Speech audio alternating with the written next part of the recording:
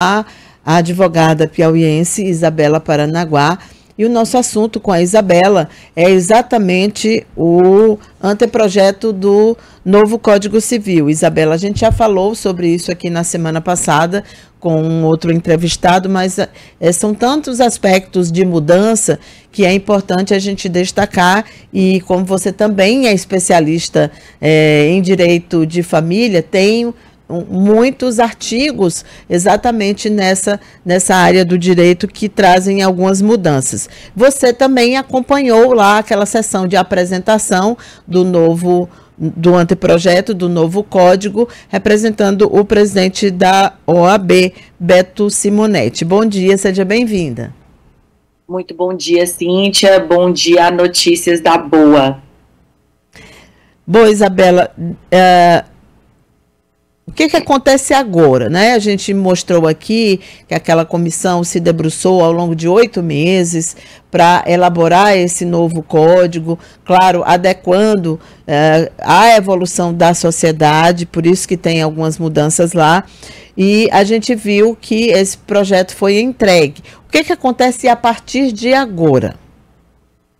Certo, Cintia, é muito importante abrir esse momento para que a sociedade entenda o que significa esse momento que é histórico. Pela primeira vez, o Código Civil vai ser escrito por homens e mulheres.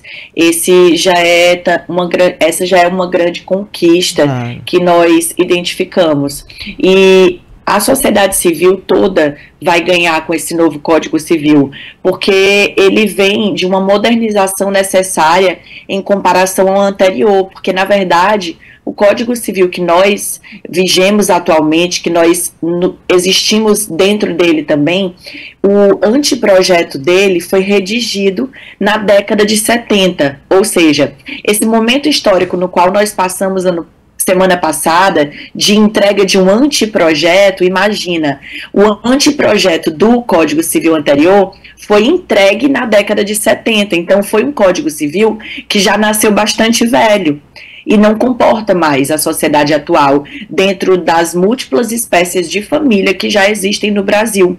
Então, este momento que é considerado importantíssimo, no qual o ministro Salomão entrega o anteprojeto para o presidente do Senado Federal, que foi semana passada, é também um símbolo do que o que nós esperamos que essa construção, que esse novo Código Civil, ele venha protegendo mais e mais famílias brasileiras. Aqui falando da parte de família e sucessões, porque você destacou a minha especialidade, uhum. mas claramente é um livro que é grande porque vai abarcar todas as espécies de direito civil brasileiro. Isso, é, Isabela, a gente até listou alguns pontos aqui quando nós falamos desse anteprojeto, e um dos pontos que eu listei foi o divórcio unilateral, que é algo novo, né? Vai ser inserido é, na, na, no, nosso, no nosso arcabouço é, legal no Código Civil, que regula a nossa vida é, em vida e depois que a gente morre ainda continua sendo regulado pelo novo Código Civil, né? Queria te perguntar o seguinte: uh, esse divórcio unilateral, ele pode ser um motivo de polêmica? Sim, Cintia, ele já tem sido motivo de polêmica. O interessante também é que muito do que está neste Código Civil novo como anteprojeto. Eu estou frisando bastante que ainda é um anteprojeto, sim, sim. que vai virar projeto, que vai passar por aprovações, assim, tornando o novo Código Civil Brasileiro. O divórcio unilateral é um dos pontos polêmicos. E, na verdade, Cíntia, o livro de direito de família e sucessões foram os mais complexos e mais que comportaram discussões lá na comissão de juristas, porque afeta famílias brasileiras que são diversas. E os entendimentos, até mesmo doutrinários, lá dentro da comissão de jurista, teve momentos de divergências. O divórcio unilateral foi um, um, desses momentos, mas tudo indica que vai sim se tornar como possível já na lei. E o que é que acontece hoje no Brasil? Uma insegurança jurídica, porque algumas jurisprudências, ou seja, alguns julgados, julgam no sentido favorável ao divórcio unilateral. Então, o divórcio unilateral nada mais é do que a possibilidade do juiz dar o divórcio sem precisar ouvir a parte contrária. Isso não é unânime entre o entendimento de todos os julgadores e existe toda uma explicação para os dois lados e tudo isso de acordo com a defesa da autonomia da vontade, que é o princípio que mais rege o direito de família e a menor intervenção do Estado aqui em um direito que é totalmente privado, que é o direito de família. Entendi. É, e, e, essa contestação ela se dá exatamente, né, Isabela, porque as pessoas temem serem divorciadas, terem a separação oficializada sem elas serem notificadas, embora isso esteja muito claro é, lá, né, na proposta que está no anteprojeto. Exato.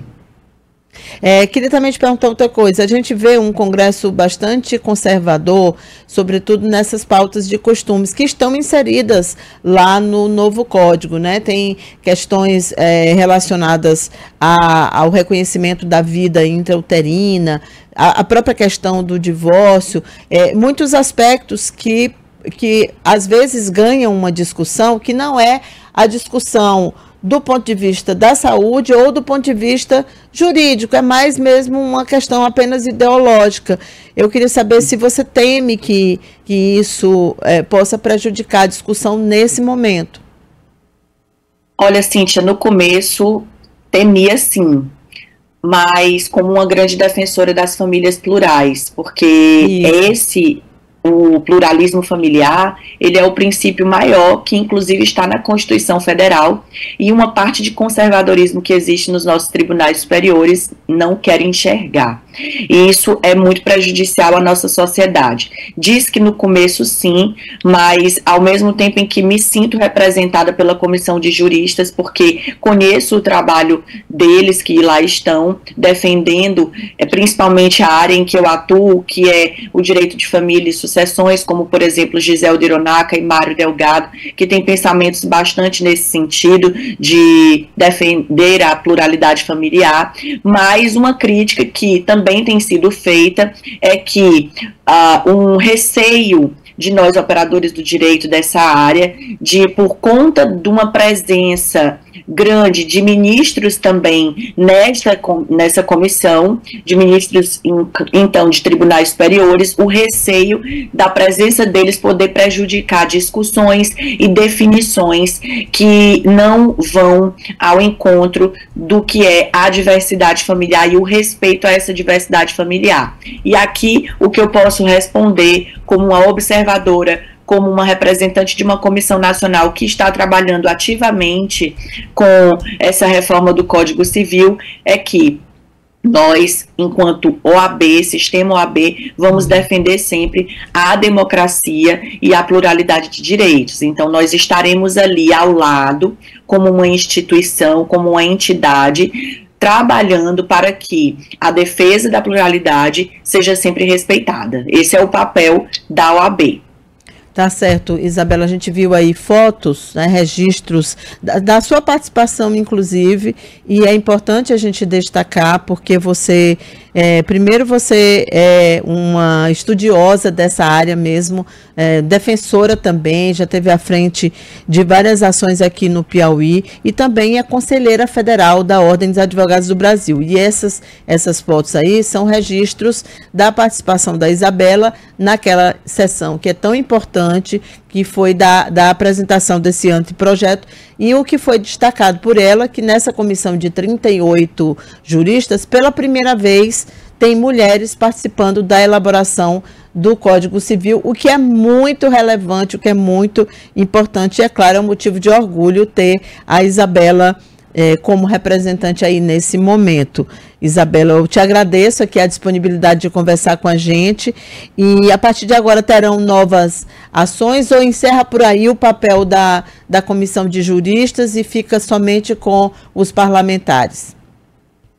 É, nós continuamos, a comissão de juristas, no caso, é, continua, porque após a entrega do anteprojeto, agora é o momento em que os parlamentares precisam aprovar, então o trabalho deles, científico, fica encerrado, mas sempre se deixando aberto para o diálogo, porque dúvidas podem surgir, então eles precisam trabalhar nesse sentido, assim como nós, do sistema OAB também, Cíntia, que temos um trabalho ativo dentro de assuntos legislativos então, é toda uma força positiva, porque o Código Civil, ele representa a vida de todos nós, porque todos nós somos cidadãos civis e nós precisamos, então, entender muito melhor do que um código anterior, que não teve uma participação tão direta assim da sociedade. Dessa vez, o que nós queremos? Queremos realmente democratizar no sentido da palavra e, inclusive, com redação mais simples, mais direta, para que todo cidadão entenda, como do povo, entenda o que lá está escrito sobre os seus direitos civis, e não só o direito de família e sucessões, porque o direito civil é desde que você nasce, cresce, desenvolve, então ele vai abarcar o direito contratual, obrigacional, o direito da personalidade, inclusive, Cíntia, tem uma um vanguardismo nesse próximo Código Civil, que é a proposta de um livro exclusivo de direito digital dentro do Código Civil brasileiro. E isso é vanguardismo, inclusive, frente a países europeus, é, códigos civis de países europeus. E um outro ponto aqui que eu posso trazer de interessante foi uma nota técnica que nós fizemos da nossa comissão, a qual eu presido, que é a Comissão Nacional de Sucessões, a proposta de um artigo que foi muito bem recebido, que já era um, um, um tema discutido na doutrina e na jurisprudência. Então, vai ser mantido o direito real de habitação para é, para cônjuge uhum. e companheiro, mas agora com um acréscimo. Esse direito real de habitação, ele também vai ser estendido para pessoas vulneráveis daquela família. Então, comprovando a vulnerabilidade, que é uma questão aí que precisa ser comprovada, também vai ter essa pessoa da família o direito real de habitação. Isso não acontecia antes. E aqui daria para a gente discutir claro, sobre é. tantos pontos, Verdade. mas o mais importante é dizer aqui para as pessoas que estão assistindo notícias da boa que o objetivo é deixar que o Código Civil realmente tenha uma participação de toda a sociedade. Verdade, Isabela, muito obrigada. Um bom dia para você. Muito bom dia, Cíntia. Obrigada.